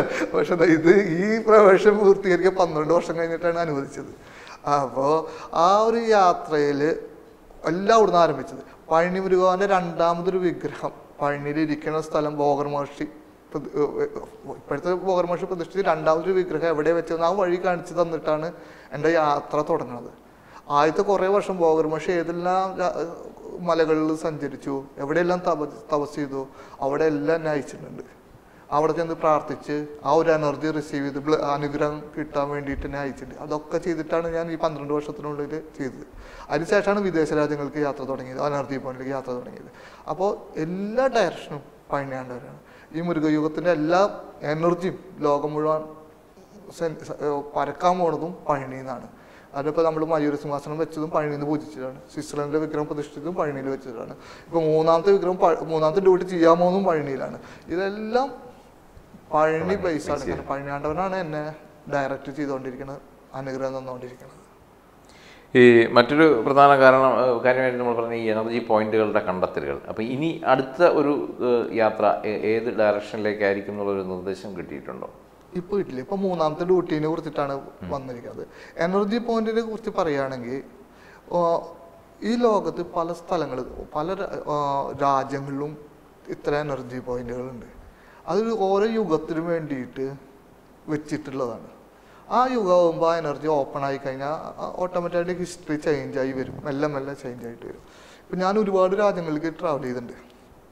അപ്പോൾ അതിലത്തെ ഇന്ത്യയിലെന്ന് ഞാൻ പറഞ്ഞു പഴനിയിലെന്ന് പഴനിമല ഒപ്പം ആഞ്ചനർമലയുണ്ട് ഉണ്ട് അതുപോലെ പഴനിയിലൊരു പർവതമല ഉണ്ട്. പർവത തിരുവണ്ണാമലയുടെ അടുത്താണ് ആ പർവതമല.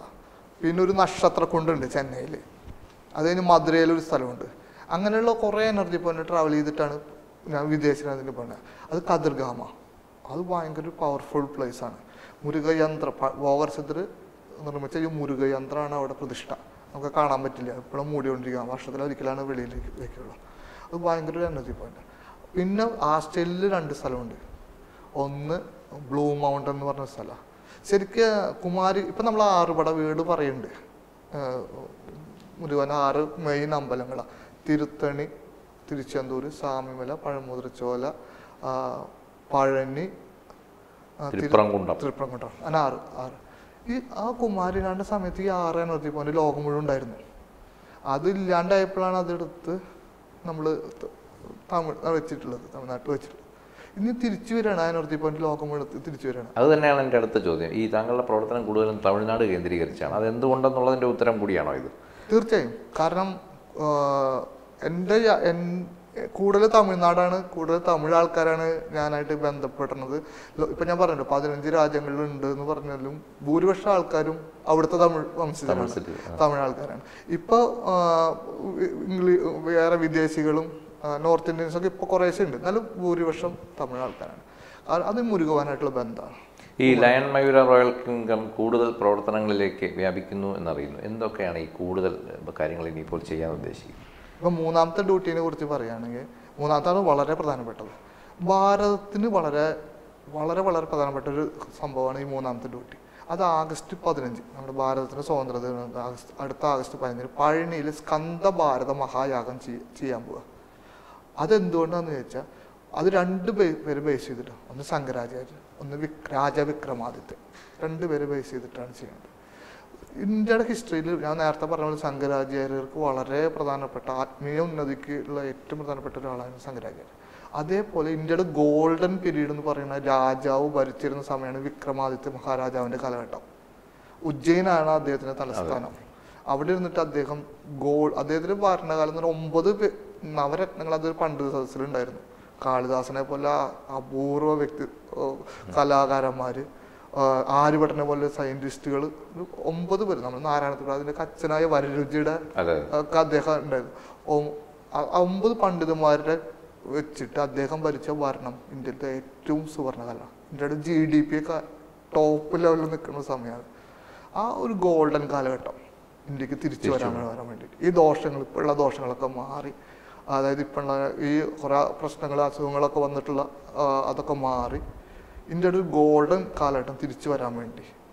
ആ ഒരു സ്പിരിച്വൽ ശങ്കരാചാര്യൻ നടത്തിയ ഒരു സ്പിരിച്വൽ പവർഫുൾ ആയിട്ടുള്ള മൂവ്മെന്റ് തിരിച്ചു വരാൻ വേണ്ടിയിട്ട്. ഈ രണ്ട് കാര്യം ഇന്ത്യയ്ക്ക് ഇപ്പം ആവശ്യം എന്നുള്ള ലെവലിൽ ഇന്ത്യയുടെ ഇന്ത്യ ഭരിക്കുന്ന ആൾക്കാർക്ക് അവർ ആ ശക്തി കിട്ടാൻ വേണ്ടി ആ ഒരു പവർ ആ ഒരു ഇന്ത്യയുടെ ഗോൾഡൻ ഇത് തിരിച്ചു വരാൻ വേണ്ടി നടത്തണ യാഗമാണ് സ്കന്ദ ഭാരത മഹായാഗം അത് പഴഞ്ഞാണ്ടവരുടെ അനുഗ്രഹത്തിൽ വേണം ഇനി അത് നടക്കാൻ. ഈ ലോകത്തിന് ഇന്ത്യയ്ക്ക് ഭാരതത്തിന് ആ ആ മൂവ്മെന്റ് കിട്ടാൻ. ആ ഗോൾഡൻ മൂവ്മെന്റും സ്പിരിച്വൽ മൂവ്മെന്റും കിട്ടാൻ. അപ്പൊ അദ്ദേഹത്തിന് എനർജിയിൽ അത് നടക്കാൻ വേണ്ടി പഴനിയിൽ ആഗസ്റ്റ് പതിനഞ്ചിന് സ്കന്ധഭാരത മഹായാഗം നടത്തുകയാണ് അതൊരു സ്പെഷ്യൽ എന്താ വെച്ചാൽ രണ്ട് പേര് വെച്ചിട്ട് എല്ലാം എല്ലാമാർക്കിടെ മെമ്പർമാർ രണ്ട് പേര് വെച്ചിട്ട് അഞ്ച് സങ്കരമഠങ്ങൾക്ക് യാത്ര ചെയ്യാണ് രണ്ടുപേര് കാലടി ബെർത്ത് പ്ലേസിൽ നിന്ന് രണ്ടുപേര് കാഞ്ചി കാഞ്ചിമഠം ചെന്നൈയിലുള്ളത്. രണ്ടുപേര് പുരി രണ്ട് പേര് ജോഷിമഠ് രണ്ട് പേര് ദ്വാരക. അവിടെ ഒരു കയ്യിൽ എല്ലമാർക്ക് ഫ്ലാഗ് മറ്റേ കയ്യിൽ സ്കന്ദപുരാണം. ഈ എല്ലമാർക്ക് കഴിഞ്ഞ കൊല്ലം മുതൽ ആടി മാസം സ്കന്ദപുരാണ മാസമായിട്ട് സെലിബ്രേറ്റ് ചെയ്യണം. കർക്കിടക അതായത് എല്ലാ വീട്ടിലും ആ മാസത്തിൽ സ്കന്ദപുരാണം പഠിക്കും പഠിക്കാൻ വേണ്ടിയിട്ട്. എല്ലാ വീട്ടിലും സ്കന്ദ ഷഷ്ടി കവചം പഠിക്കണം. ആ രീതിയിൽ ഒരു മൂവ്മെന്റ് സ്റ്റാർട്ട് ചെയ്തിട്ടുണ്ട്. അത് ഒരുപാട് ആൾക്കാർ ഫോളോ ചെയ്യുന്നുണ്ട് പോകാൻ സാധിച്ചിട്ട് തമിഴ്നാട്ടിൽ മാത്രമല്ല ലോകത്തിന്റെ എല്ലാ. ഭാഗങ്ങളിലും പോകണം വീട്ടിൽ ഇത് പഠിക്കുക ആടി മാസത്തിൽ ആ ഒരു സെലിബ്രേഷന്റെ ഭാഗമായിട്ട് കൂടിയിട്ടാണ് ഇത് ചെയ്യുന്നത്. ഈ അഞ്ച് സ്ഥലത്ത് പോയിട്ട് ഷഷ്ടിയോജം സ്കന്ധപുരാണം സ്കന്ദപുരാണം പഠിക്കുക അവിടുന്ന് തീർത്ത് പുണ്യ തീർത്തെടുക്കും. എല്ലാവരും ഉജ്ജയിനിൽ വന്നിട്ട് യോജിക്കും. ഉജ്ജയിനിൽ ഞാൻ ഉജ്ജയിനിൽ പോകും അവിടെ ഇരുന്നിട്ട് കുമാരികാന്ഡം നമ്മുടെ പൂർവികരായ കുമാരികാണ്ട ആൾക്കാർക്ക് ബലിതർപ്പണം ആഗസ്റ്റ് എട്ടിന് നമ്മുടെ കർക്കിടവാവാണെന്ന് അന്ന് ബലിതർപ്പണം ചെയ്ത് മുരു- ഒരു മുരുക പൂജ ഉജ്ജയിനിൽ വെച്ചിട്ട് രാജാ വിക്രമാദിത്യ മഹാരാജാവിന്റെ റൂൾ ചെയ്ത മണ്ണിൽ വെച്ചിട്ട് ചെയ്ത് റിട്ടേൺ വന്നിട്ട് ആഗസ്റ്റ് പതിനഞ്ചിന് പഴനിയിൽ വെച്ച്. പഴനിയിൽ വെച്ച് സ്കന്ദഭാരത മഹായാഗം ചെയ്യാൻ അത് ഭാരതത്തിന് വളരെ വളരെ പ്രധാനപ്പെട്ട ഒരു അതാണ് മൂന്നാമത്തെ ഡ്യൂട്ടി ആയിട്ട് ചെയ്യുന്നത് ഇതിൽ ഇപ്പോൾ ഈ എൽ എം മാർക്കയെ കുറിച്ച് പറഞ്ഞു. ഇപ്പം നമ്മൾ ഈ സംസാരിക്കുമ്പോൾ തന്നെ എൽ എം മാർക്കയുടെ ഫ്ലാഗ് നമ്മുടെ മുമ്പിലുണ്ട്. വളരെ വ്യത്യസ്തമായ ഒരു രൂപകൽപ്പനയാണ് അതിന്റെ എന്താണ് ഈ ഈ നക്ഷത്രങ്ങളും വേലും ഒക്കെ ആയിട്ട് ആ കുമാരി കുമാരികാണ്ഡത്തിന്റെ ഭാഗമാണോ അതിലുള്ളത്? ഇത് അതൊന്ന് വിശദമാക്കാമോ? അത് ഭഗവാന്റെ ഡയറക്ഷനിൽ മെയ് ഫസ്റ്റിന് ലാസ്റ്റ് മെയ് ഫസ്റ്റിനാണ് ഇത് ആദ്യമായിട്ട് ഇനോഗ്രേഷൻ ചെയ്തത്. അതിന് ബ്ലൂ എന്നുള്ളത് എർത്ത് റെപ്രസെന്റീവ് ആണ്. കുമാരികാണ്ടം ഗോൾഡൻ കളറിലാണ് കുമാരികാണ്ടത്തിന്റെ മാപ്പ് കൊടുത്തിരിക്കുന്നത്. കാരണം കുമാരകാന്ഡം ടൈമാണ് ഗോൾഡൻ പീരീഡ് ആയിരുന്നു. നമ്മുടെ ഏറ്റവും സുവർണ കാലഘട്ടം. അത് മനുഷ്യരുടെ ഏറ്റവും ഡെവലപ്ഡ് ആയ സമയമാണ് അവരുടെ ആൻസിസ്റ്റേഴ്സിന് അനുഗ്രഹം കിട്ടാൻ വേണ്ടിയിട്ടും ആ അറിവുകളൊക്കെ തിരിച്ചു കിട്ടാൻ വേണ്ടിയിട്ടും ആ തം ഞാൻ വയസ്സ് തമിഴ് പറയുന്നില്ല ആ തമിഴുടെയൊക്കെ പൂർവികരുടെ അവരുടെ അനുഗ്രഹം കിട്ടാൻ വേണ്ടിയിട്ടാണ് കുമാരികാണ്ടത്ത് ഗോൾഡൻ പീരീഡിനെ റെപ്രസെന്റ് ചെയ്തിട്ടാണ് വെച്ചത്. അതിന് മുകളിൽ വേൽ. അന്നും കുമാരികാണ്ടത്തെ റൂൾ ചെയ്ത് മുരുകഭവനാണ്. ഇനി വേൾഡിനെ റൂൾ ചെയ്യാൻ പോകുന്ന മുരുകഭവനാണ്. അതുകൊണ്ടാണ് റെപ്രസെന്റ് വേൽ വെച്ചിരിക്കുന്നത്. ഗോൾഡൻ ഇതിൽ ഒരു പത്ത് നക്ഷത്രങ്ങളാണുള്ളത് പത്ത് സ്റ്റാർ അത് ഓരോ സ്റ്റാറും ഓരോ എനർജിയാണ് ഒന്ന് ശിവഭഗവാൻ ഒന്ന് ആദിപരാശക്തി സിദ്ധപരമ്പര കുമാരികാണ്ട ആൻസിസ്റ്റേഴ്സ് തുടങ്ങിയ അങ്ങനെ പത്ത് നക്ഷത്രങ്ങളുടെ എനർജികളാണ് അതിൽ ഈ പത്ത് എനർജിയും കുമാരികാണ്ടിന്റെ ഗോൾഡൻ പീരീഡും അതുക്ക് മേ അതിന്റെ മേലെ മുരുകവാനും ഇതാണ് ഇതിന്റെ കൺസെപ്റ്റ് ഇതാണ് ഇതിപ്പോൾ ഇതിപ്പോ എല്ലാ രാജ്യങ്ങളിലും ഈ ഫ്ലാഗ് നടപ്പാക്കി. കഴിഞ്ഞു. അതുമാത്രമല്ല ഫ്യൂച്ചർ വേൾഡിന് ഈ ഫ്ലാഗ് അത്രയും ശക്തിയായിട്ടുള്ള ഒരു പൊസിഷൻ കിട്ടാൻ പോവുകയാണ്. ഭഗവാന്റെ ഡയറക്ഷൻസിൽ അനുഗ്രഹത്തിന് അദ്ദേഹം അത് പറഞ്ഞിട്ടുണ്ട്. അത് വെച്ചിട്ടാണ് മൂവ് ചെയ്തുകൊണ്ടിരിക്കുന്നത്. ഈ നമ്മളതിന്റെ ഒരു അവസാന ഭാഗത്തോട്ട് വരുമ്പോൾ കഴിഞ്ഞ പ്രാവശ്യം തന്നെ നമ്മൾ ചോദിച്ചു നിർത്തിയ ഒരു ചോദ്യമുണ്ട്. ഈ ആധ്യാത്മിക ഗുരുക്കന്മാരെല്ലാം തന്നെ കാഷായം ധരിക്കേണ്ട എന്നുള്ള ഒരു ചിന്താഗതിക്കാരനാണ് താങ്കൾ. കഴിഞ്ഞ പ്രാവശ്യം താങ്കൾ വന്നപ്പോൾ വളരെ കാഷ്വൽ ആയിട്ടുള്ള റെഡ് ഡ്രസ്സാണ് ധരിച്ചിരുന്നത്. എന്നാൽ ഈ ഇടയ്ക്ക് താങ്കളുടെ വളരെ മോഡേൺ ആയിട്ടുള്ള ഒരു വിഷവിധാനത്തിലുള്ള ഒരു പോസ്റ്ററും കാണാനിടയായി. എന്താണ് അതിന് പിന്നിലുള്ള ഒരു ഇപ്പോൾ ഇപ്പോ സ്പിരിച്വൽ പോയ ഉടൻ കാവ്യ അങ്ങനെ ധരിക്കണവർക്ക് തീർച്ചയായും ധരിക്കാം. അത് അവരുടെ ഇതാണ്. പക്ഷെ അത് അവർക്ക് ആ അവരുടെ ഗുരുക്കന്മാർ കൊടുത്ത വഴി തന്നെയാവും. അത് മോശമൊന്നുമില്ല. തെറ്റൊന്നുമില്ല. വളരെ നല്ല വഴി തന്നെയാണ്. കാഷായം എന്നുള്ളത് ഏറ്റവും. ഒറ്റ ഔന്നത്യത്തിലുള്ളതാണ്. ആ ഒരു പൊസിഷനിൽ എത്തുമ്പോൾ മാത്രം ധരിക്കുക. ധരിക്കുക. അങ്ങനെ വിശ്വസിക്കുന്ന ആളാണ് ഞാൻ. ഭഗവാന്റെ വ്യക്തമായ ഒരു ഡയറക്ഷൻ ഉണ്ട്. എനിക്ക് ഗുരു എന്ന് പറയാൻ പാടില്ല. ഒരു ഗോഡ്മാൻ എന്ന് പറയാൻ പാടില്ല. ഒരു ആശ്രമം സ്ഥാപിക്കുക ആ ഒരു ഇതൊന്നും ചെയ്യാൻ പാടില്ല. എനിക്ക് തന്ന വഴി. മറ്റേ വഴികളൊന്നും തെറ്റാതില്ല. അതൊക്കെ വളരെ നല്ല വഴിയാണ്. അവരത് തുടരട്ടെ. എനിക്ക് തന്ന വഴി അങ്ങനെയാണ്. അപ്പോൾ അത് ഞാൻ ഫോളോ അപ്പ് സ്ട്രിക്ട്ലി ഫോളോ ചെയ്യാറുണ്ട്. അതുകൊണ്ട് നോർമൽ ഡ്രസ്സ് ചെയ്യും. മോഡേൺ ഡ്രസ് ചെയ്യും. കോട്ട് ധരിക്കും. കോട്ട് ധരിച്ചിട്ട് സ്പിരിച്വൽ പറയാം. ഡ്രസ്സ് നമ്മൾ ധരിക്കണത് നമ്മുടെ സ്പിരിച്വാലിറ്റിനൊന്നും ഒരിക്കലും ഇതില്ല. നമ്മൾ നോർമൽ ഡ്രസ്സ് ധരിച്ചിട്ട് നമ്മൾ നോർമൽ വേഷത്തിൽ നോർമലായിട്ട് സംസാരിക്കണ രീതിയിൽ സംസാരിക്കണമെന്ന് ഭഗവാന്റെ ഡയറക്ഷൻ അപ്പോൾ ആ ഒരു സ്റ്റൈൽ ഞാൻ ഫോളോ അപ്പ് ചെയ്യുമ്പോൾ ഞാൻ ചിലപ്പോൾ ഇത് ധരിക്കാറുണ്ട്. സാധാരണ നോർമൽ ഡ്രസ്സ് ചെയ്യാറുണ്ട് കോട്ട് ധരിക്കാറുണ്ട് ബെർമു മറ്റേ ആ മോഡേൺ സ്റ്റൈലിലൊക്കെ ചെയ്യാറുണ്ട്. പക്ഷെ അത് ഇഷ്ടപ്പെടുന്ന ആൾക്കാരും ഉണ്ട് കാരണം ഇതെന്താ വെച്ചാൽ നമ്മൾ കൊടുക്കുന്ന ഒരു സന്ദേശമുണ്ട് ഈ ലോകത്തിന്. സ്പിരിച്വാലിറ്റി അത്രയും കട്ടി കൂടി കടിച്ചാൽ പെട്ടാത്ത സാധനമൊന്നല്ല. സിമ്പിൾ നിങ്ങൾക്കും ചെയ്യാൻ പറ്റും. ഏത് ഏതൊരു ഏതൊരു സാധാരണ ആൾക്കാർക്കും എടുക്കാൻ പറ്റ പൊന്തിക്കാൻ പറ്റുന്ന സാധനം തന്നെയാണ് സ്പിരിച്വാലിറ്റി നിങ്ങൾ നിങ്ങളെ സാധാരണ ജീവിതം നയിച്ചോളൂ. അതിന്റെ കൂടെ ദിവസവും ശരവണഭവായി നമുക്ക് ഒമ്പത് തവട്ടം മുരുകാന്റെ വിളക്കിന് മുമ്പ് ജപി വിളക്ക് വെച്ച് ഫോട്ടോയിൽ വിളക്ക് വെച്ച് ഓം ശരവണഭവായ നമുക്ക് ഒമ്പത് വട്ടം ജപിക്കാം. അഞ്ച് മിനിറ്റിന്റെ കാര്യം. ഇത്രയും ചെയ്താൽ മതി. നിങ്ങൾ ഭഗവാന്റെ ഡ്യൂട്ടി ചെയ്യുക. നിങ്ങൾ വളരെ സ്മൂത്തായിട്ട് സിമ്പിൾ ആയിട്ട് ഒരു പൂ എടുക്കണ പോലെ നമുക്ക് സ്പിരിച്വാലിറ്റി കൊണ്ടുപോകാൻ പറ്റുന്ന കാണിക്കാൻ വേണ്ടിയിട്ട് കൂടിയാണ്. അത് തന്നെയാണ് എന്റെ അടുത്ത ചോദ്യം. ഈ ഹീലിംഗ് അതുപോലെ ഇപ്പോൾ താങ്കൾ ചെയ്യുന്ന പൂജ ഇതെല്ലാം വളരെ സിംപ്ലിഫൈ ചെയ്തിട്ടുള്ള സ്റ്റെപ്പുകളാണ് താങ്കൾ അവലംബിക്കുന്നത്.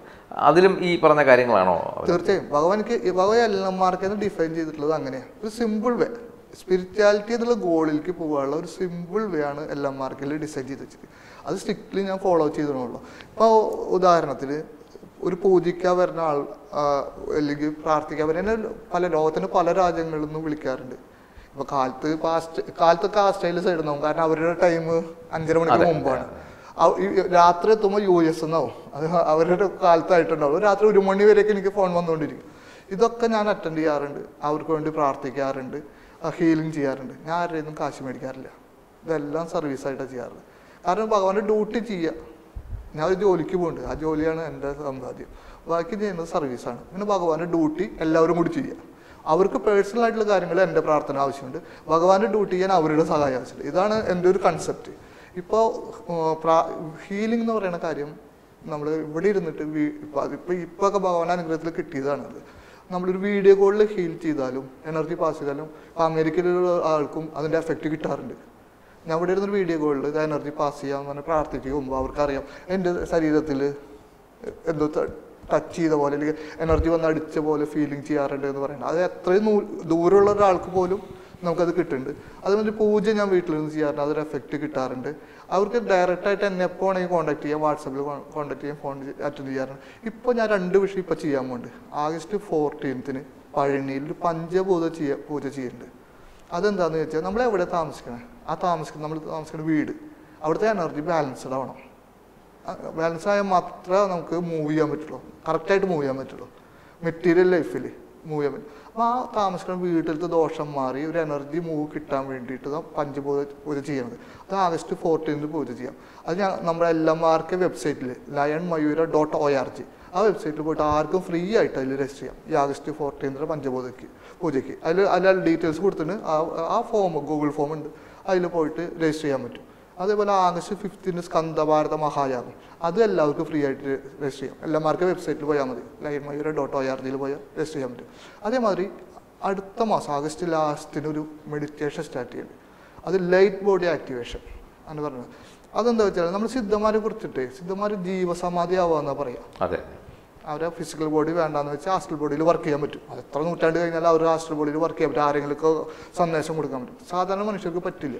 നിറയെ കർമ്മങ്ങളും കാര്യങ്ങളും ഉള്ള കാരണം അവർക്ക് പറ്റില്ല. പക്ഷെ അവരെ കർമ്മങ്ങളൊക്കെ ക്ലിയർ ചെയ്തിട്ട് ഒരു ലൈറ്റ് ബോഡിയിലേക്ക് എനർജിയിൽ പോയി മെർജ് ചെയ്യുക കാരണം നമ്മൾ ഗോഡാണ് എനർജി നമ്മൾ ഇപ്പം ഞാൻ കണ്ട ഗോഡ് എനർജി രൂപത്തിലാണ് ഊർജ രൂപത്തിൽ ആ ഊർജത്തിൽ പോയി മെർജ് ചെയ്യാണ് മുക്തി. ആ ഒരു വഴിയുണ്ട്. കർമ്മങ്ങൾ ക്ലിയർ ചെയ്ത് ക്ലിയർ ചെയ്ത് അതിലേക്ക് ആ വഴിയാണ് ലൈറ്റ് ബോഡി ആക്ടിവേഷൻ എന്ന് പറയുന്നത്. ഇപ്പം നമ്മ അതിന് എനിക്ക് മുരുകാന്റെ ഡയറക്ഷനിൽ ഇപ്പോൾ എനിക്ക് ഒരു അനുവാദം കിട്ടിയിട്ടുണ്ട്. അത് ഞാൻ ഈ ആഗസ്റ്റ് ലാസ്റ്റിന് ആരംഭിക്കും. അതിനെന്നെ സഹായിക്കുന്നത് വല്ലലാർ സിദ്ധറാണ് വല്ലലാർ സിദ്ധർ എന്ന് പറഞ്ഞാൽ ഭയങ്കര ഈ അടുത്ത കാലത്ത് വളരെ എല്ലാവർക്കും അറിയാം. തമിഴ്നാട്ടിലുള്ള സിദ്ധരാണ് എല്ലാവർക്കും അദ്ദേഹം ജീവ അദ്ദേഹം ജീവസമാധി ആവുകയല്ല ചെയ്ത് നമ്മൾ സംഘരാജ്യർ അറിയാം കേരളനാഥിൽ ബാക്ക് സൈഡിൽ പോയിട്ട് ഗുഹയിൽ പോയിട്ട് അങ്ങനെ പോവുക ചെയ്യണം. വേറെ ടൈംസ് സോണിലേക്ക് മാറുക ചെയ്യണം. ഇവിടെ ഇദ്ദേഹം നേരെ ഫിസിക്കൽ ബോഡിയിൽ നിന്ന് നേരെ ലൈറ്റ് ബോഡിയിലേക്ക് പോവുക ചെയ്യണത്. വല്ലലാർ ചിത്രം. ഒരു റൂമിൽ വെച്ചിട്ട് അദ്ദേഹത്തിന്. ഇത് അദ്ദേഹത്തിന് മുരുകുവാൻ മിററിൽ കാഴ്ച കൊടുത്തിട്ടുണ്ട്. അതേമാതിരി ഇദ്ദേഹം ലൈറ്റ് ബോഡി ആവണത് ഫിസിക്കൽ ബോഡിയിൽ നിന്ന് ഒരു സെക്കൻഡ് കൊണ്ട് ലൈറ്റ് ബോഡി ആവണത് തൈപ്പോയത്തിനെന്നാണ് അദ്ദേഹത്തിന്റെ അനുഗ്രഹത്തിൽ ആഗസ്റ്റ് മാസം ലാസ്റ്റ് ഞാൻ ഈ മെഡിറ്റേഷൻ ആരംഭിക്കുന്നുണ്ട്. അതിനും എല്ലാവർക്കും ഫ്രീ ആയിട്ട് എല്ലാമാർക്കും വെബ്സൈറ്റിൽ രജിസ്റ്റർ ചെയ്യാൻ പറ്റും. അത് മാത്രമല്ല ഇത് ഒരു നാളുകൊണ്ട് കൊണ്ട് കർമ്മങ്ങളൊക്കെ മാറി അവിടേക്ക് പോകാനൊന്നും പറ്റില്ല. പക്ഷെ അവർ എല്ലാ മാസവും ഇത് കണ്ടിന്യൂ ചെയ്യും ഞാൻ മെഡിറ്റേഷൻ ഓട്ടോമാറ്റിക്കായിട്ട് കുറേ പേർക്ക് എല്ലാവർക്കും കിട്ടൊന്നുമില്ല. കുറേ പേർക്ക് നമുക്ക് ഇപ്പോൾ ഒരു പത്ത് പേര് എസ് എൽ സി പരീക്ഷ എഴുതിയ രണ്ട് പേർക്ക് എ പ്ലസ് മൂന്ന് പേർക്ക് ബി പ്ലസ് അങ്ങനെ കിട്ടണ പോലെ അതിൽ കിട്ടുന്ന ആൾക്കാർക്ക് കിട്ടി ആ ഒരു മൂവ്മെന്റ് ചെയ്യും. ആ ഒരു ഇതും കൂടി സ്റ്റാർട്ട് ചെയ്യാൻ പോകും ഇതെല്ലാം ഫ്രീ ആയിട്ട് രജിസ്റ്റർ ചെയ്യാൻ പറ്റും. ഏതായാലും ഒരുപാട് കാര്യങ്ങളാണ് ഈ മുരുക യുഗത്തിൽ താങ്കളുടെ നേതൃത്വത്തിലുള്ള ഈ എല്ലാം മാർക്കെ ചെയ്യുന്നത്. കൂടുതൽ കാര്യങ്ങൾ ചെയ്യാൻ ഭഗവാൻ അനുഗ്രഹിക്കട്ടെ എന്ന് ആശംസിക്കുന്നു. ഏതായാലും കൂടിക്കാഴ്ചയുടെ ഈ ഒരു അധ്യായത്തിൽ പങ്കെടുത്ത താങ്കൾക്ക് നന്ദി അറിയിക്കും തത്വമയ്ക്ക് നന്ദി. സഹായിക്കട്ടെ ഓം ഭവായ വീണ്ടും മറ്റൊരു അതിഥിയുമായി കൂടിക്കാഴ്ചയുടെ അടുത്ത അധ്യായത്തിൽ കാണാം. നന്ദി. നമസ്കാരം.